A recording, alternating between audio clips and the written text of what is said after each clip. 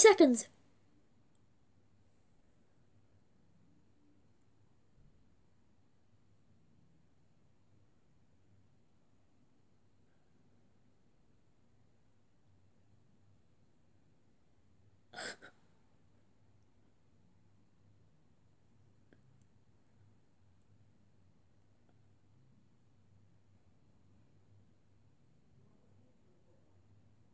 Okay, guys, so as you can see, Guardians of the Galaxy could be ending very soon. What's up, guys? Welcome to another one today. We're doing today.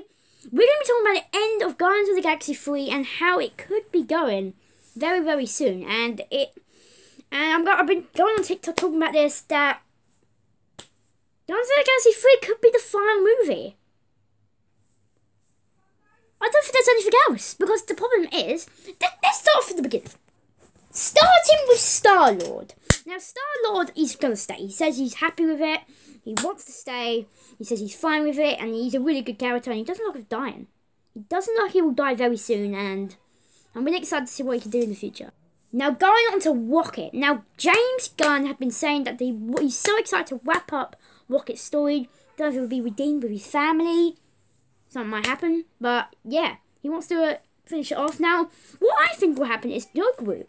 Yeah, Groot, I don't know if he'll die again, but I think Rocket and Groot will go together in a ship and maybe leave or something like that. I think that'll be a good thing happening at the end of it. Now going on to Drax. Now, oh my god, like it's so upsetting, but Drax says nothing's getting on with the character, and, and loads of people have been saying this. Yo, his character's sport. He just does the this little crisp thing. He's he goes. Ah! Oh! He's just not like a. He doesn't really doesn't really do much to be honest, and it, he he says he's not going any far. He's not doing any cool superhero stunts or saving the world or anything. He's just a backup person, and he doesn't like it. So it looks like Drax will be done, which means Drax Rocket will be done. So obviously the actors don't want to do that. I'm not going to replay them. So Drax and Rocket are gone out of the Guardians. Oh, Only Star Lord. Now I don't know what's going on with flipping Gamora, Nebula, and flipping Oh no, I forgot her name. The antler lady. The antler lady, no one cares about anymore. Like people just went, oh, I don't know. But Gamora and Nebula, I don't know what's going on with them. It's just so weird. I don't know. Um, Gamora's gone back in time, so I don't know if they'll meet up again. I didn't see him in the last one. I didn't see him to be honest. Um, so Gamora's gonna probably get killed off, or something might happen. I don't know. I'll go back in time. No, no, he's still there. No, I don't know. I think Gamora will stay. Nebula it's the is it the oh no the new nebula? Okay, I don't. It's in the nebula and I don't even know to be honest. Now going on to probably Thor. Now Thor probably will go on his own. Because don't forget Thor Love and Thunder first, and then we have Guardians of the Galaxy three. So something will happen in Thor Love and Thunder when because it's love. So something's gonna happen. Maybe it could be that maybe someone dies in Guardians of the Galaxy.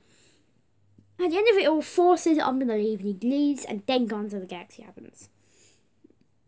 So I'm really excited for that, and I'm so excited for them. Words, yeah. So we, yeah, so it is pretty exciting. Flip. Going on to the next bit, and yeah, uh, yeah, that's it, isn't it? So, Star Lord for.